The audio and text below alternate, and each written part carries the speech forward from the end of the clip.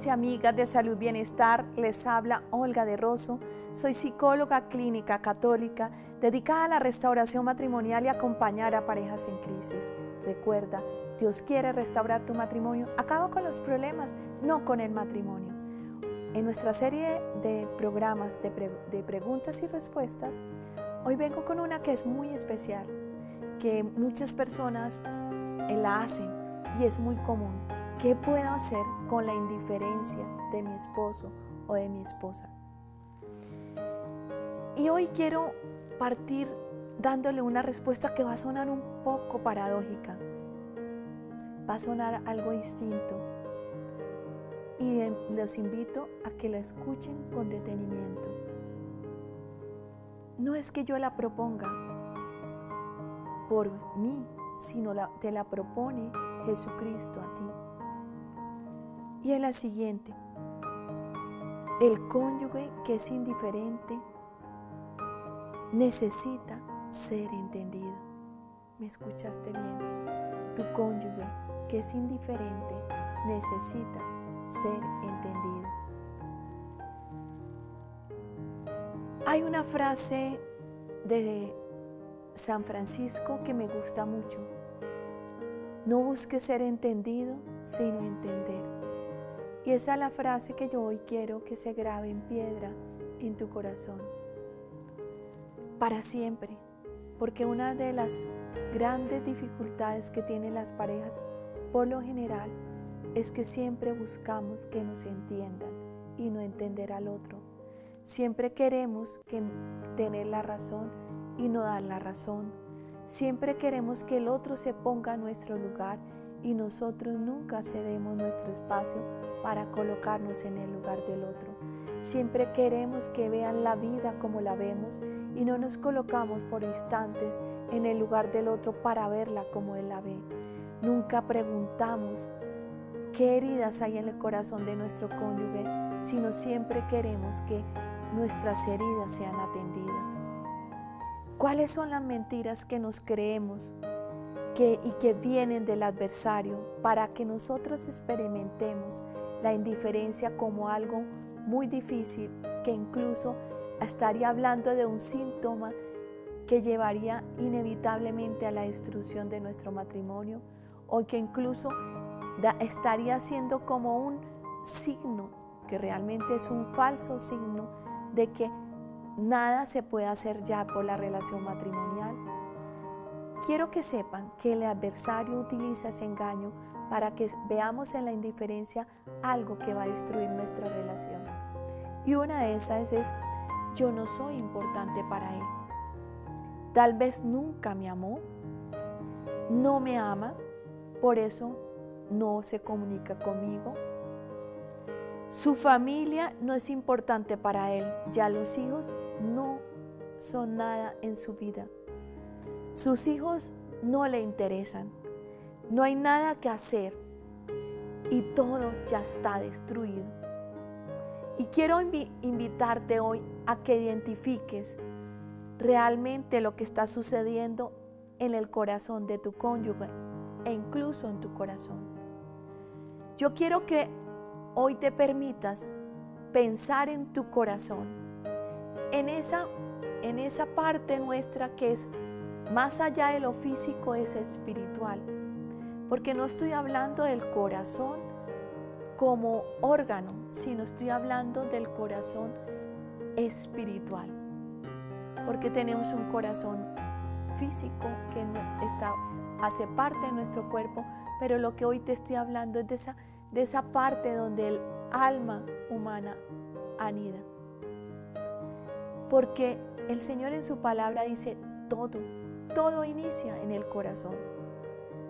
Y eso no tiene que ver solo contigo, sino tiene que ver con tu cónyuge. El gran porcentaje de las situaciones que nos suceden en nuestra vida parten del corazón y nacen en el corazón.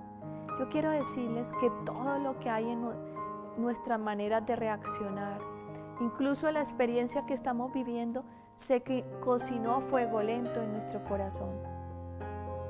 Jesús nos dice, y quiero para ello tomar del Evangelio de Marcos 7, 20, 23 y compartírtelo. Jesús dice, lo que sale del hombre, eso sí, lo hace impuro, porque de dentro, es decir, del corazón del hombre, salen los malos pensamientos, la inmoralidad sexual, los robos, los asesinatos, los adulterios, la codicia, las maldades, el engaño, los vicios, la envidia, los chismes, el orgullo y la falta de juicio. Todas estas cosas malas salen de dentro y hacen impuro al hombre. Es su palabra, es la palabra de Dios. El corazón de un cónyuge indiferente es un corazón herido. Es un corazón que arrastra heridas de su propia historia que se generaron desde mucho tiempo atrás y que probablemente nunca se cerraron y llegaron a tu relación y llegaron a la relación matrimonial ya heridos. Eso se aúna a que esa experiencia dolorosa se vuelve una experiencia de sufrimiento y muchas veces también vienen de ataduras familiares, donde en el corazón del hombre que se cocina el adulterio, muchas veces vemos que son generaciones de hombres o mujeres que han vivido el adulterio y tu esposo hace parte de esa línea intergeneracional. Pero es Dios está permitiendo esta experiencia para que ya rompamos todo pacto que hay con el adversario y podamos restaurar nuestra vida y restaurar eso que Él nos ha dejado. En suma, todo lo que sucede en el hombre, todo lo que es la raíz del mal, ha surgido del corazón del hombre. Dios habla de que el corazón es la fuente de nuestras acciones. Y si hay un corazón indiferente, si hay un corazón que ha guardado silencio, un corazón que no se expresa y no se comunica, es porque en él hay una herida que se expresa a través del silencio, que se expresa a través de hacerse un lado porque no puede con toda la carga que lleva en su ser. Y eso estamos hablando de la carga personal. Pero tenemos que tomar conciencia de que tú que me escuchas y que probablemente tienes a tu esposo indiferente o a tu esposa indiferente, tú también a lo largo de tu historia también fuiste anidando y cocinando en tu ser y en tu corazón heridas.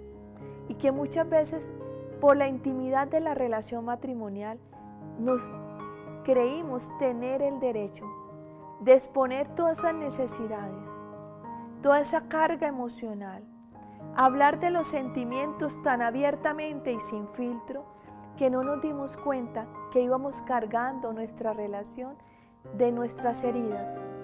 Y lo que hicimos es seguir hiriéndonos mutuamente.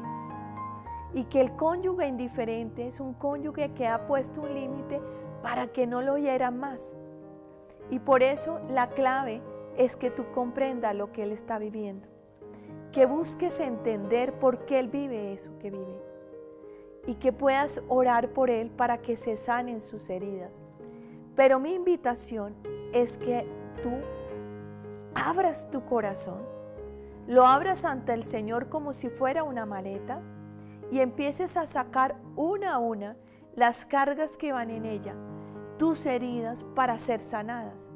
Y le digas al Señor que las sane no eres tú quien las puede sanar por tus propias fuerzas, solo lo puede sanar el Señor. Y te lo habla una psicóloga que creía que podía sanarse a sí misma.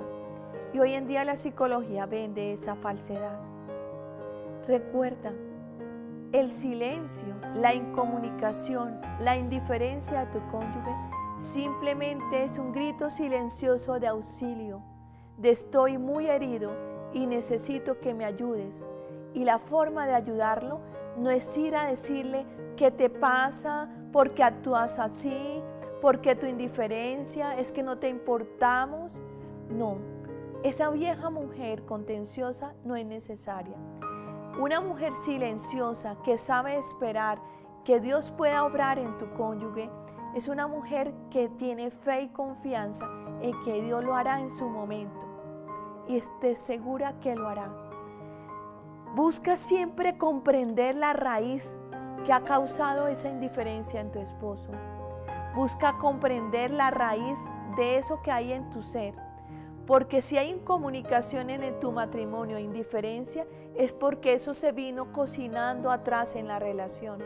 Busca en ti la raíz y busca en él la raíz, observando, recordando las cosas para que tú puedas interceder por eso que hay en el corazón de tu cónyuge y que es una herida en él.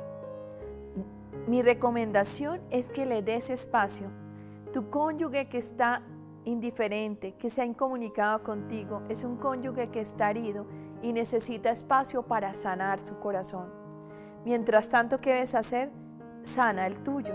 Busca las raíces de los dolores que tú sientes en este momento, por el abandono, por la indiferencia, por la incomunicación. Otra es guarda tu corazón de lo que ya está guardado.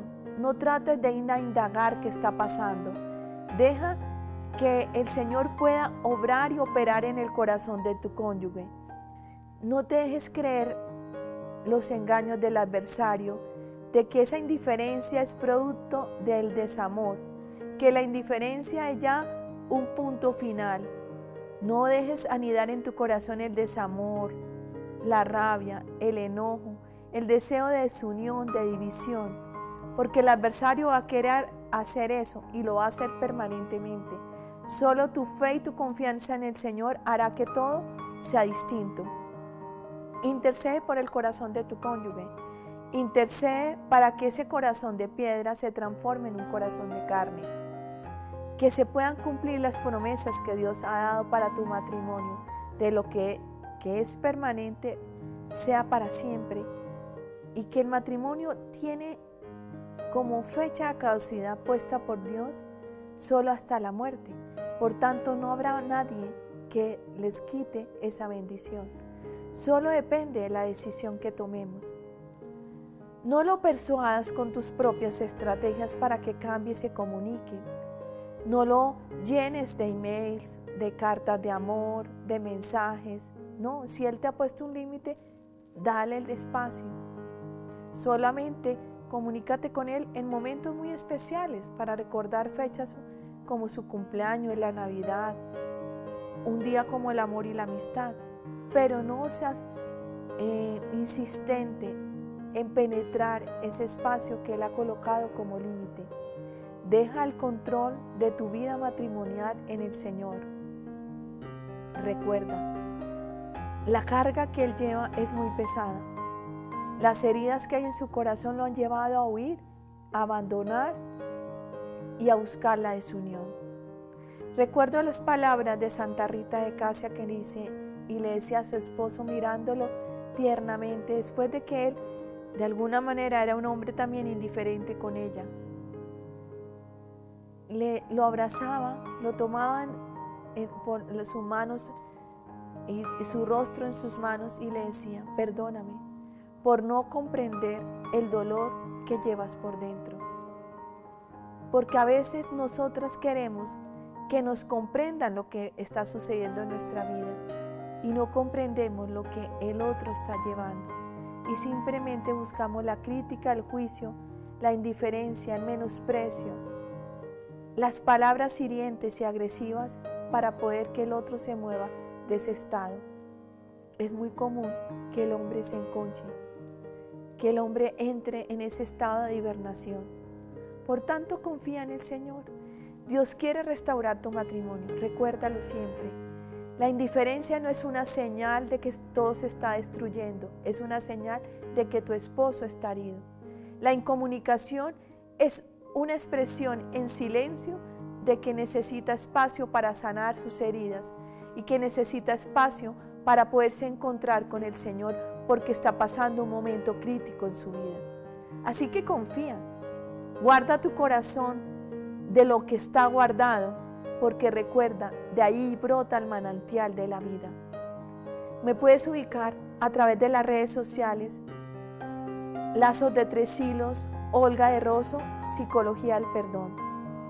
Y si quieres hacer parte de nuestra comunidad de restauración e intercesión matrimonial llamada Lazos de Tres Hilos, comunícate al 320-809-6561. Estoy para ayudarles.